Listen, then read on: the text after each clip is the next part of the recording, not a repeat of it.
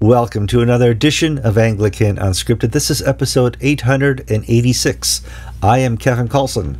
And I'm George Conger, and today is October 15th, 2024.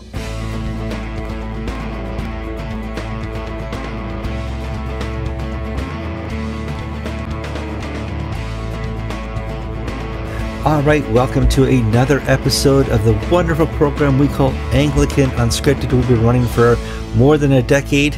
We have 886 episodes under our belt. Not yet. This this is 886. We actually have 885 done so far. And we're glad you could join us. Before we get too far into the program, it would be really wonderful for us if you click that thumbs up. It looks just like my thumb. You find that on Facebook and YouTube, and it promotes kind of a, a, false narrative to, to YouTube and Facebook. It tells them that this is an awesome program and that they should internally promote it for us. It's free advertising. If you've not done so recently, go to the comment sections. When this show is done, the comment section just becomes alive for two or three days. People tell us their thoughts, they tell us their opinions, they give us other resources, and it's a wonderful place where you can do the same. We appreciate your comments, your ideas, and story ideas for stuff we've not covered yet. If you've not done so, please subscribe. There's a little rectangle that says subscribe. If it's red, you have not subscribed yet. You click that little red uh, rectangle, up comes the bell, and lo and behold, you get instant notifications after you click that bell. Um, anything I've not mentioned, you've shared this. I know you all shared this, so we, we got that covered. George, survivor of two hurricanes on the western shores of Florida, how are you doing this week? I'm doing great. Uh, I would do want to tag on to that something that you said the importance of uh, comments and uh, corrections. Mm. Just some some major stuff. Some because this is unscripted, we don't you know read from a script.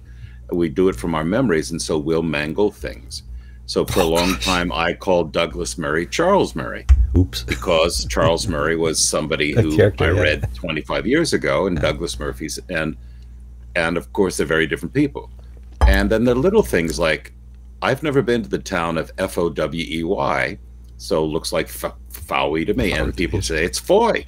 What? Now, that you know, be. unless unless you're uh, a local or you know you're English, and so, but you know, it's important not to uh, compound you know mistakes by repeating. So if I said Fowey for the next fifty episodes, it'll cause some people to blow up, but you need to tell me it's Foy.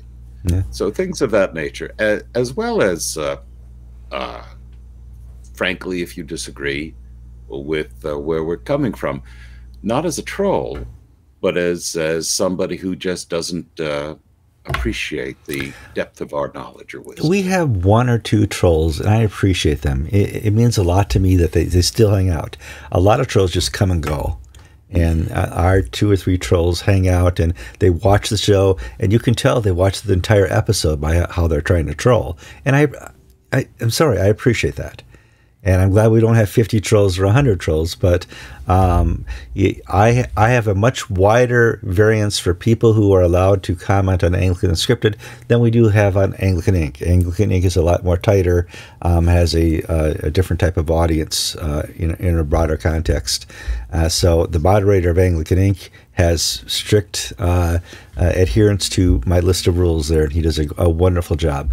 So, um, yeah uh, you know, we appreciate you guys hanging out. We appreciate you guys uh, commenting, and I think that's really kind of the the genesis for our next episode is reading the comments uh, and comparing to the news that's going on out there. There was somebody who uh, went to town on my uh, uh comments about uh, Richard Hooker. I don't find Richard Hooker's three-legged stool to be all even legs you know, I, I didn't have time to, to comment on all that, but you know, these are things that we talk about off the top of our heads. It's unscripted. If you guys would not watch a scripted show, uh, this is not Kamala Harris. This is somebody else. This is you know completely unscripted. Kevin, I think the most uh, anger I've ever seen in our comments mm. was when you identified the gate guard at your compound as carrying an AK forty seven. That's right. I don't know how I. It must have been uh, our show must have been broadcasted at NRA convention or something because. That's what are you talking about? Why would a U.S. Army soldier carry an AK forty seven? Yeah. because we have an international audience, and it, it, when we started out, 90% of our audience was American. Uh, you know, it, here we had the, the, tech war going on. Not uh, only American, they yeah. were Americans. Americans, Americans, Americans, and I think the the average age was 65. It was just people who uh, mostly uh, priests and clergy who were going through the, the, church wars at the time. Now, only 40% of my audience here is American. Uh, the rest is international. It, it, it's stunning to watch that number as uh, we're 40% uh, American, we're probably 42% uh, Europe, and the rest around the world uh, whether it be Hong Kong or China or Taiwan or South uh, Africa, South Africa, Slavic countries, ex-Soviet blocs. It, it, you know the the personal email I get because people can't comment because they're they're, they're from a, a communist country and would be uh, you know arrested or murdered for watching the show. It's it's astonishing. I, it, it's the most humbling thing. You can wake up in the morning and say, "Lord, you had me in over my head again. I don't know what I'm doing. I don't know how to do this." Uh, and it, it, takes you to a different place in prayer because uh, uh please understand, Kevin has no training for being a host of an Anglican theological news program. None. Not, not, not, not an ounce. You, you must have some seminary, Kevin. No, no, no, no, no, no, no. so, it, the other thing, the other thing I think we might want to mention is that how the center of the Anglican world has shifted over the years, news world, and that um, when we started, the uh, I might turn off the ringer. When we started, nine out of 10 stories were America because America was on fire. Mm-hmm.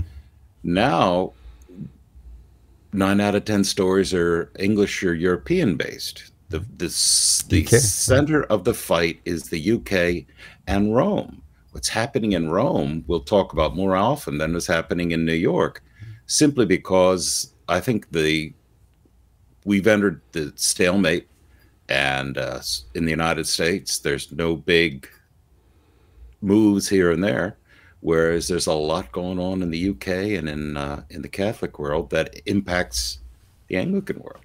Yeah, I I spent this weekend with my wife. We drove up to uh, Connecticut to visit some old friends, and the number one topic was what's happened to the Generation or Z, whatever the latest generation, and just the the two of them were school teachers, and just the absolute desolation of public schools. Uh, they had they they're told to promote kids even if they can't read or can't do math. Just get get move them up up the system, and you know, astonishing conversation. The second most popular topic we talked about for four hours was Pope Francis. Now these are Anglicans, ex-Episcopalians. They, they, you know, as far as they're concerned, eh, the ACNA is winning. It's no longer a worry. There's no longer a church war. Um, but what's happening with Pope Francis and Rome is topic du jour because uh, they're going. You know, if if Rome gives way, what's left? You know, and so yeah that's topic door. We should move on to some stories here. We're, we're 12 minutes in. Story number one Scotland's new Abortion Services Act. Uh, we have reported, and I did an interview with Elizabeth, Elizabeth Vaughan-Spruce uh, a couple months ago, who was ticketed for having silent prayer in front of abortion clinic in Birmingham was that you know somewhere in the UK, and uh, um, she fought that, and she was uh, eventually vindicated in court for silent prayer. Uh, the UK had come up with a uh, law that says you can't pray within a couple hundred feet meters if you're from England of an abortion clinic. She was walking silently through this area and was questioned by police who cited her and that has come and gone vindicated. Now Scotland has a new, more succinct, specific law uh, to get rid of that vagueness. And let's talk a little bit about that, George. Yeah, and we mentioned uh, we were tipped to this uh, by Elizabeth Vaughan Yes. Mm-hmm. And that uh, because normally Scottish civil affairs wouldn't come under our radar. But Scotland's new Abortion Services Act imposes a 200 meter safe access zone around clinics, and it criminalizes silent prayer or religious expression, even if the silent prayer or religious expression takes place in a private house if that house is visible or audible within the zones. So if you had a prayer meeting in your front room and across the street was an abortion clinic, and people could look through your window and see you on your knees praying, you are subject to a 10,000 pound fine. Now, unlike the British laws, uh, the Scottish new law identifies, quote, religious preaching and silent vigils as activities that can be restricted if performed with intent or recklessness. Mm. So Elizabeth Vaughan-Spruce, if she went up to Scotland, she would be arrested for praying with intent or reckless prayer. But if she sneezed and I said Gesundheit, that's that's probably okay. Yeah, that's involuntary. That, prayer, that's involuntary. Okay, all right, yeah, yeah. and the uh, Church of Scotland, of course, is withering on the vine, and the Scottish Episcopal Church is not too far behind them, and they really have not been speaking out. It's been people, civil liberties groups, uh, right to life groups, activists like Elizabeth Vaughan-Spruce. So the church, I hate to say, the Catholic Church has spoken out, but the Protestant world is just absent without leave in this fight, or so as I understand it. And again, I don't know everything that's happening in Scotland, but the Anglicans are not pulling their pulling their weight in this fight. Well, nobody is. No, no Christian is, and that's the shame in this. If that law were here to occur in Maryland, I would be cited. I would go there and do that uh, to bring attention to uh, the ra- lack of free speech, the what the law really is trying to do, and you know, there's there's nothing wrong as a Christian in being uh, confrontational in that way to show that you know you're coming against my religious freedom. Now, I would assume we probably have more religious freedom here in America. We certainly have better freedom of speech laws, and the fact that yeah, Elizabeth Elizabeth was vindicated gives me hope. But I don't know about Scotland. And we we we're so blessed in the United States, but we just had John Kerry who ran for the United States presidency. Uh, was a who is saying that the First Amendment is a problem. It's a, yeah, that it's a problem. We need to regulate speech because of misinformation as defined by the government. Hillary Clinton and said the same Hillary thing. Clinton She's, said the same thing. Yeah. Um, if the the if now that's just two people, Clinton and uh, Kerry. If but if their worldview is successful, that would criminalize uh, so much of what we would do uh, in talking about moral issues. Mm-hmm. Now, they've st- tried to do this in California, where Gavin Newsom signed into law a, a bill that uh, that uh, criminalized making fun oh, parody of yes. memes, parodies, and memes of, uh, and of course the, the, federal court struck it down. Um, so it's not going anywhere. But there is a push, and it's not just in England, but in the United States and around the world, in Europe, in Germany, and France, to censor to censor thought and speech that does not conform to what the those in power want to hear. Mm-hmm. And it's interesting because what was parody and humor five or six years ago has now become news. You know, uh, the things we used to make fun of uh, you can't make fun of anymore because now it's now news. It's in the news.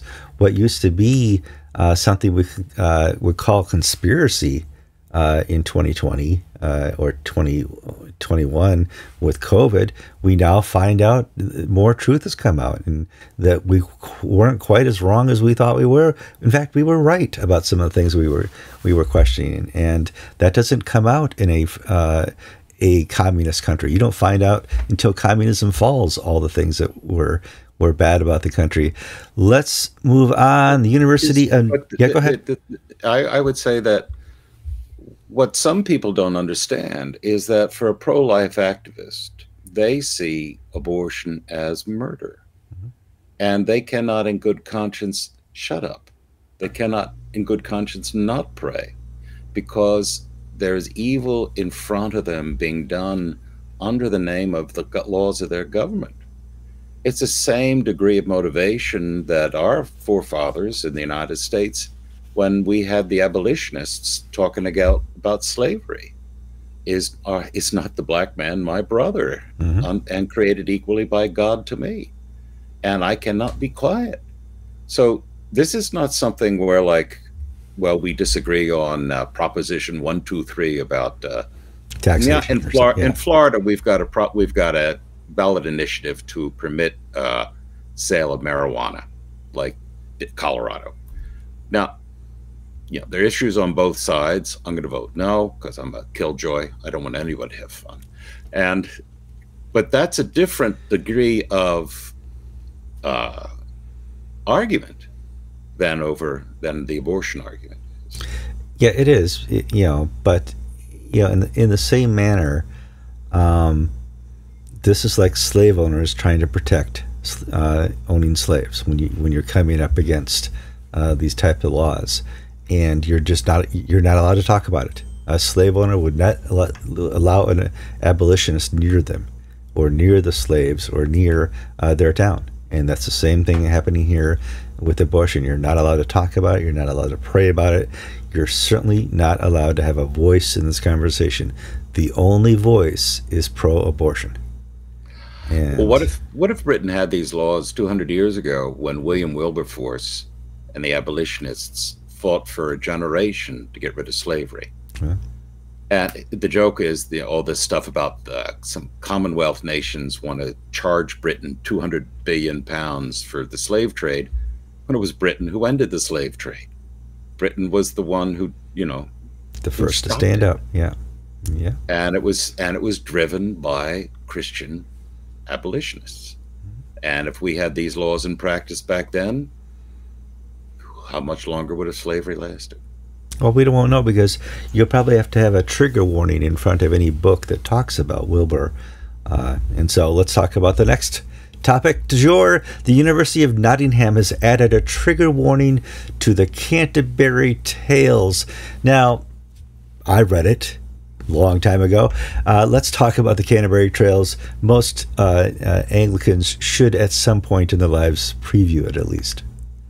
Well, it most uh, well at least in our generation you had to read it in high school or at least yeah. extracts from it. Extracts yeah. Uh, canterbury tales is a 14th century literary work by geoffrey chaucer and it consists of 24 individual stories and it's structured around a storytelling contest among a group of pilgrims traveling to the tri- shrine of st thomas of becket in canterbury hence canterbury tales. tales yes and each tale reflects the diverse backgrounds and personalities of the pilgrims while offering sort of insight into the medieval life morality and religious belief. And the University of Nottingham has put a trigger warning on the Canterbury Tales saying its expressions of Christian faith might be harmful to students. Hmm. Okay. You know, 18, 19, 20 year olds in college in England, you know, once upon a time, these people were asked to storm the shores of Normandy or go over the top of the trenches uh, in France and Flanders. But now they're so fragile that they cannot read the Canterbury Tales. They're not so fragile that in sixth and seventh and eight year olds here in America cannot be shown books about how little boys can masturbate together uh, or have anal sex together. You know, that's uh, that's first, second, and third grade content now in some public school systems here in America. Uh, but yeah, let's be careful of the Christians because uh, they have colon- tried to colonize the earth and led disease and wiped out the Indians. You know, so. Oh, mm. again, this is one of these things that we got a link from uh, some of our viewers. Andrea Minichiello Williams of Christian Concern she had a, a, statement about this, and she said, without an understanding of the Christian faith, there's no way for students to accept the world of Chaucer and his contemporaries. It's ludicrous to issue such a trigger warning. It, it's a question of academic freedom. You can't understand the Canterbury Tales if you don't understand the Christian worldview that is driving the people to go on a religious pilgrimage. It's, you know, her word is, the word she uses, ludicrous, is absolutely true. Sure. And the thing is, yeah. you know, we may be picking on the University of Nottingham, but you know, I can remember when my children were in high school, it's going back 10 years, we started having these things. You can't read Mark Twain. Huckleberry because Finn. the character of Huck, one of the characters in Huckleberry Finn has now an, an offensive name. Mm-hmm. I had to. Rem- I remember having to read a book by Joseph Conrad uh, called "The Blank of the Narcissus" when I was in high school. That book yep. has dis- disappeared. Now, the uh, or even Agatha Christie, uh, one of her books, uh, Ten Little Indians, actually had a different little name when it was written. Uh, the point is, this whole trigger warning concept is creating a generation of people who are mentally ill. I don't have any other way to say that. Because if you go through life and that word sets you off, you're going to be a failure in life. You're not going to survive or thrive in a difficult environment. Well, but so many of the, this latest generation have isolated themselves completely. Uh, there was a poll asking how many of your friends disagree with you politically or other things, uh, have a, a, a, opposing view of you on some politics, and yeah, amongst Gen Z and the millennials, it, it, it was zero, zero percent. I, I would never surround myself with those type of people, and I've cut my parents off who are who have opposing views, and that's just that's you know that's a cult. If you can't uh, um, hang around other people because your ideas may be challenged and you may change your ideas because of that challenge, you're in a cult. Um, so, I mean, why do we get so worked up about Scientology? because this is what Scientology does. Yeah. In alienating and breaking things up. And yet we've instituted a public school system that takes the worst sort of aspects mm-hmm. of that cultishness and makes it mainstreams it. I remember when I was a little boy, and you can't see the, this anywhere, anywhere. You probably can't find it on the internet. I saw the Disney movie Song of the South. Okay. Zippity doo dah. Zippity doo dah, zippity day. And uh, you can't see that anymore. That has disappeared from any catalog of anywhere. Um, and I saw it at some film club in, in early middle school. So yeah, yeah, yeah, it's gone. Let's move on to the other news here. And uh, shame on Nottingham for, well, no, if you want to put a trigger warning on there, fine. You know, that that's your right to do. Church of Should England put a trigger warning on the University of Nottingham. Idiocy taught here. Jeez, I mean, if you go to the library, how many books are written by Christians? And they're like, I mean, whatever. Church of England Evangelical Council not letting idea of a parallel province go. So let's talk a little bit about that idea. Um, Church of England, for all intents and purposes, has um, destroyed itself from in. They're just you know a, a little way from uh, electing and, and, voting in LLF. Uh, it is already being practiced, and the world uh, knows it, but they don't care but there's still some churches within the Church of England who want to do something. And having a parallel province is one of those suggestions, George. The bishops of the Church of England have said, no, no, no, no, no, no. We're not going to have a third province in the Church of England mm-hmm. for traditionalists, conservatives, evangelicals, Anglo Catholics, whatever. And so the Church of England Evangelical Council is not given up. They said, okay, if we can't have a de, de jure, meaning under law, a third province, we'll have a de facto one. So we'll have a federation of 500 to 1,000 Orthodox churches. And we will all send our money to the, the de facto provincial office. And that will pay for our own seminarians, our own pastoral assistants. And we'll basically be stepping not out of the Church of England, but to one side of the Church of England, so that we will not follow into heresy those who seek to contravene the clear words of God on sexual and human morality. Now, the uh, question are are there really 500 to 1,000 churches? And why do they need to do this? Well, you know, LLF is being driven through the Church of England. Martin Snow, uh, probably in exchange for being the next Archbishop of Canterbury, has been tasked with making this palatable and getting it through. And if he succeeds, he's the odds on choice. Yeah. If he fails, well, you took a bullet for the team, Martin, but uh, we'll pick somebody else. Is there are there 500 to 1,000? I think so. Now, there may be only about 200 right now who can stand alone financially and politically. But let's say you are a uh, you have a parish benefice of six or seven rural congreg- rural churches uh, in the countryside.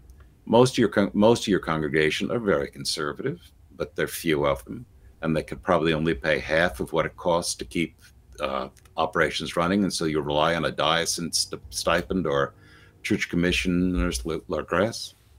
If there are if there's money to be found from an Orthodox province, and you're still in the Church of England, then those people are very likely to come over, and so you would see up to a thousand active congregations who can, if they can overcome the financial burdens and the cultural burdens of of uh, change, then I think it's a doable project. Well, we'll have to see. That's yeah. And Martin Davie, who's the former theologian to the House of Bishops, has done the few number of papers saying, look, all of the arguments put forward by the bishops, well, you can't do this, um, basically have no historical, legal, or theological justification. It's just we've always done it this way, and we don't want to give up any of our authority. Well, that's that's not a good enough reason. Well, you say this is be the third. Uh, remind us again why we have the York.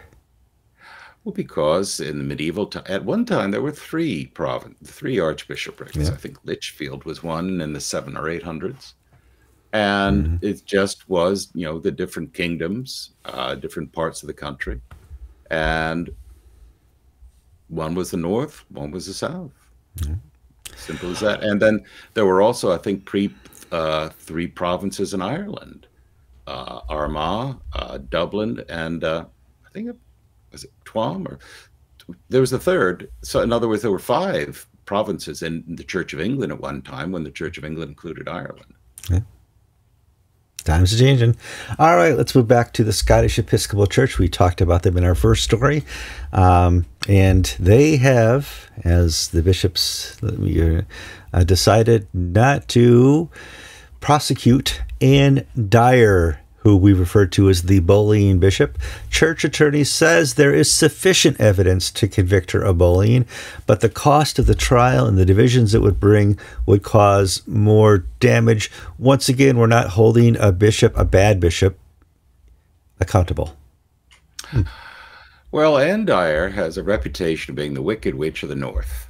Uh, Aberdeen and Orkney is the farthest northern diocese, yeah. and it's the most conservative Scottish Episcopal diocese. It's a small diocese uh, in terms of number of people and clergy. It's mostly rural, it's outside of Aberdeen and whatnot. And Dyer, when the diocese had an election, they were unable to agree on a candidate. So the bishops of the Scottish Episcopal Church appointed Anne Dyer a Church of England priest who had been the dean of a seminary in England. And so the first woman bishop was, you know, Anne Dyer in Scotland. And she was very, she is very liberal, pro gay, and all this and that. A total mismatch to the diocese. Now, what was not revealed at the time was that she was looking for a job because she had just been let go by the seminary where she was teaching because of bullying act, accusations. She was a real tyrant. Mm-hmm. Well, she goes up to Aberdeen and or Aberdeen, and she carries on the same management style, being a real SOB. And things fell apart pretty quickly, and two independent reviews were conducted, and both of them said, "Look, this woman cannot stay because she just is totally, totally unqualified to exercise the office of bishop." Well, each time the other bishop said, "Fine, thank you let's do it again. And it reached the point where finally formal legal charges were presented against her. The church attorney, procurator general, uh, whatever they're called in, Scotland, investigated, and he reported that there is sufficient evidence to convict her of these crimes, but the costs for trials and the collateral damage within the Church of Scottish Episcopal Church would be greater than getting rid of Anne Dyer.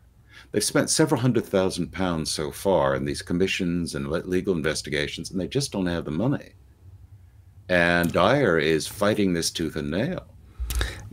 I mean, and what so can they what can they do? Yeah. Punt, punt. Yeah, punt. Basically, tell her to be a good girl, finish out her, you know, retire at 65, and then go. And this, of course, is called the victims, the clergy in Aberdeen Orkneys, to go bananas because they're getting the Wicked Witch back. And is she going to take her revenge on the people who had her suspended? Yeah. yeah. So, so the uh, complainers in the diocese are now entering into the bomb shelters, waiting for the hurricane to pass, whatever analogy you want to use. But it really is a shame that uh, financial considerations drove this decision, not truth, not justice, not pastoral care. It also speaks uh, now maybe a deal was made so that she can stay for a month, then discover that, oh, I have a medical condition that nobody knew about, so I have to step down. Maybe they're giving her a graceful out. We don't know. Don't. But where it stands today, the only person happy is Anne Dyer because she claim she's not claiming she's been vindicated because she was not found guilty yet. Mm. Innocent until proven guilty, and it's not been proven because the, they threw out the case. They, they, they may learn to regret that, but all right, it's it's not too hard for. Uh, uh, let's move on to other news. Uh, public. Uh, it, it, yeah. Here's the th- the thing is that she is claiming her opponents are driven by misogyny and homophobia. She's not a lesbian, but she supports mm. that, mm. and so she's wrapping herself in the mantle of victimhood. Yeah, and this is why it would divide the church because there are other Scottish Episcopalians who listen to the victim claims and think this is what's happening when it's not what is happening. And so she's cleverly found uh, a cloak in which to uh, cover her actions. She'll keep her paycheck, she gets her job back, and she gets to be who she was born to be a bullying bishop. Let's move on to some more news. Um, this is kind of a, a, niche story. There was a public scolding of Bishop elect of Wolverhampton, Tim Wambunya, a Kenyan bishop who moved to England to serve as a parish priest. Now, I saw some of this happening on Facebook where I saw a huge apology. Oops, I didn't know. But before we get to that, what did he do that he didn't know that raised the ire? Of Archbishop of Canterbury, Justin Welby. Tim Wambunya uh, was a parish priest in England, formerly having been a bishop in Kenya and a professor in Kenya. Mm-hmm. He was asked by a former student who was leading a network of uh, independent churches in Germany if he would come and lay hands on him, sort of as the overseer or bishop of this semi Pentecostal group. And Tim, as a favor to his former student and friend, went and did it. Then, after the fact, several months here, several months later, he is offered the position of uh, Bishop of Wolverhampton, which I always sort of find funny because Enoch Powell, the uh, well, yeah, yeah, yeah, yeah, Bishop of Wolverhampton, well, that's a different story. Yes, it is. yeah, that he's offered the position. Now, Wambunya is an evangelical. He's conservative. He is Orthodox. Well, he's Orthodox. Yeah. And this caused the left to start digging. And they found this, and then they started a campaign on social media to shame him into resigning and to basically have Justin Welby, you cannot allow this man to be a bishop because he has handed off the apostolic orders to somebody who's not an Anglican and this, yeah. and the other. And Tim Wambunya basically did a what I call a Connie Francis letter. I'm sorry, so sorry. sorry. Please accept my apology. And it should now be over. But what we saw was a double standard from the establishment and the left in England. Um, if you're conservative and if you step over the line even slightly, you're going to get hammered. If you're liberal, there's nothing's going to happen to you. You can be the Bishop of Oxford and cover up or ignore child abuse. You can be the Archbishop of Canterbury, who can take yeah. six or seven years to oversee a process where you are one of the problems, and there's no no grief. But if you're George Carey or Tim Wambunya, um, you look, you cough uh, look the wrong direction, the ton of bricks falls on your head. Like praying in Scottish abortion clinics. Yeah. Uh, all right, next story here. Uh, this is a fun story. Uh, just here in America, let's back up a couple years ago. The Supreme Court canceled the Eucharist of uh, feminism here by taking out abortion. They said abortion can only be decided state by state. There's no longer a federal uh, constitutional guarantee to access to abortion. Roe v. Wade was effectively overturned. And feminists of every variety have come out and uh, the violent anger of having their Eucharist canceled, the, the sacrament of theirs, has just uh, it, it's amazing to watch. And a larger part, if, if there was no um, election shenanigans, this is probably the reason Trump lost. Uh, there may have been shenanigans, but uh, just the ire of the feminists here in America uh, probably turned out the 81 million. But I, I don't know that. I'm just I'm I'm going off the top.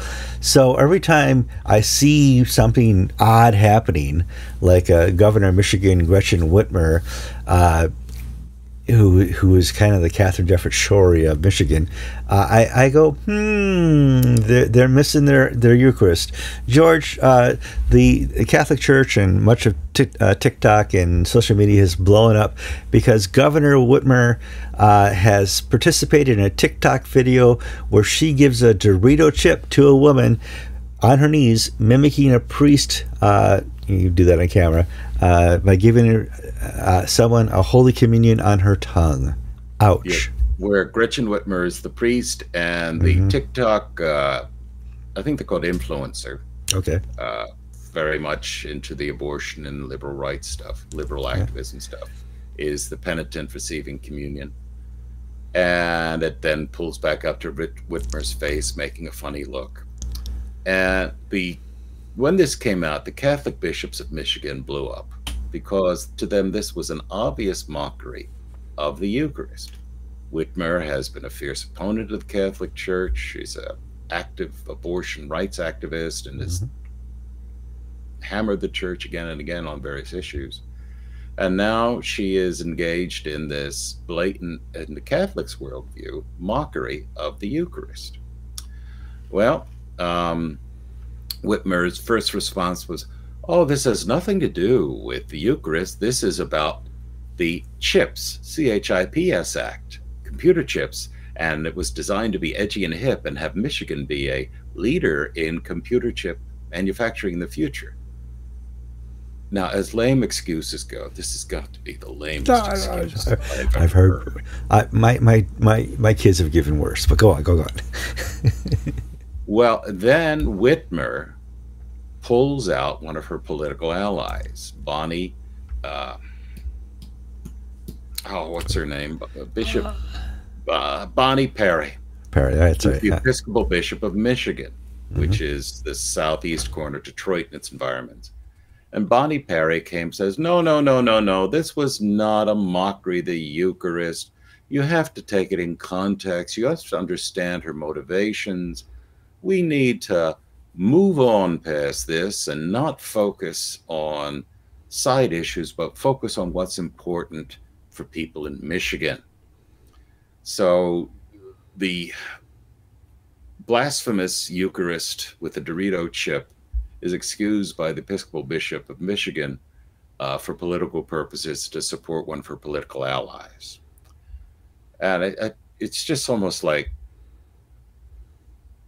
yeah, yeah. T- tell me another one that's not going to shock me.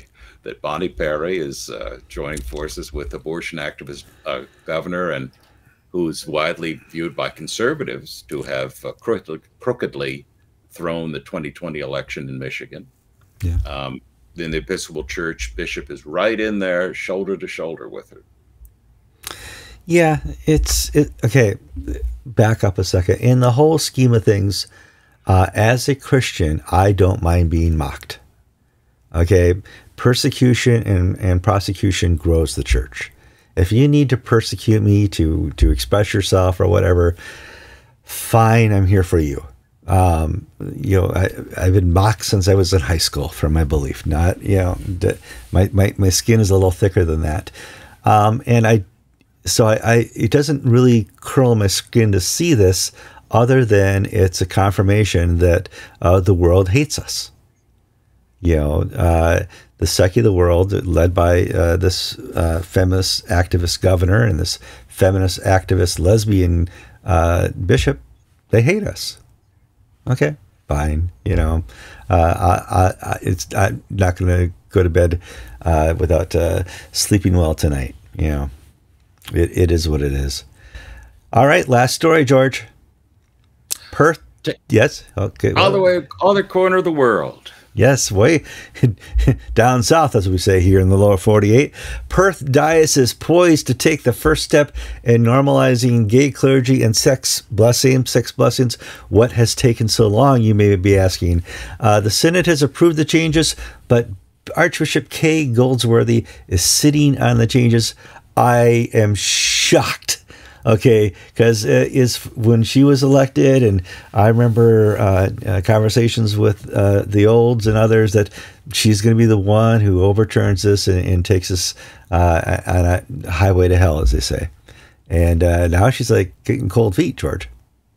Yeah David Ould has written extensively about this. The perth synod has delivered. It has passed a resolution changing the definitions of uh, clergy morals mm-hmm. and things of that nature. Now, ev- so far, uh, everything that you know, there are gay clergy in Australia and so on and so forth, and there are some uh, sort of uh, hidden gay blessings in marriages and whatnot. And it's coming down to because it's sort of silent on these points, we know we, we can get away with it. And now the Perth Synod is basically changing sexually moral relations include same sex and things of that nature, being explicit, which would open up the doors and that you know clergy that had been prevented from being ordained or licensed could now be licensed. Marriages could take place, so on and so forth. Kay Goldsworthy, who was elected uh, specifically to implement liberal changes in Perth, has gotten cold feet and she's sitting on this resolution, which will not go into effect unless she approves it. And the left is furious with her because she doesn't want to go first. She wants the people in uh, uh, Brisbane to go first, I think, and well, she's... take take the heat. And uh, I'm just I'm reading her mind. I shouldn't, but it, no, you know, two places would be Brisbane or Perth, and Perth has done it, but Perth is hanging fire.